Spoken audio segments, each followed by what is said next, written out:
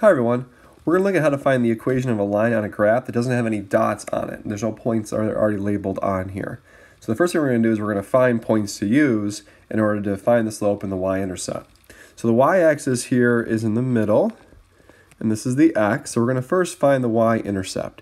It seems to cross right here at a nice point, which is positive 8. So that's our y-intercept there at 8. Now we're going to find another place to put a point that we can use to find the slope.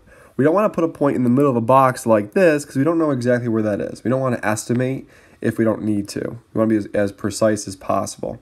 So the next place to put a point looks like right here would be a good spot because as you can see the blue line is crossing at a T there on the grid. So we know what that point should be. That's going to be 1, 4 as our next point we can use. Or we could use this point here, 2, 0, because again it crosses the grid at a nice place that we can we know for sure what it is. Picking any of those two points now, we're going to find the slope. So we're going to find the rise over the run. I'm going to add some colors here to label this. So the run is 1. The rise is down 4 boxes, but we got to be careful. It's going down, so we're decreasing. So if you look at this, I always draw a little person on the side here. And think of this little person as this would be sliding down. Oops, not shrinking. Let's try again. Sliding down the line so from left to right, they're sliding down so that the slope is decreasing. So our slope would be negative 4 over 1. 4 rise over run. Since it's rising down, it's negative 4 over 1, which of course is just negative 4.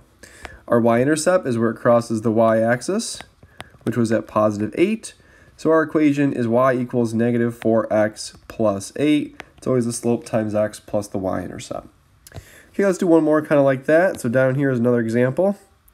Let's find the y-intercept first. It crosses down here at negative 1. And let's find another place where this line goes through that we know for sure where it is. It looks like this place up here, I know for sure where that is, and that's about it. I do see one more down here though, actually. So I've got three points to choose from. I only need to pick two. I'm going to pick these two. So I'm going to go, I'm going to rise from here up to there and then I'm going to run this many to the right. So my run would be 3. My rise would be 1, 2, 3, 4, 5, 6, 7, 8. And then it's a positive 8 because this person would be climbing up the line. From left to right, we're climbing up, so it is a positive slope. So then, we can run off to the side here, our slope would be 8 over 3, rise over run. And then our y-intercept is where it crosses the y-axis at negative 1.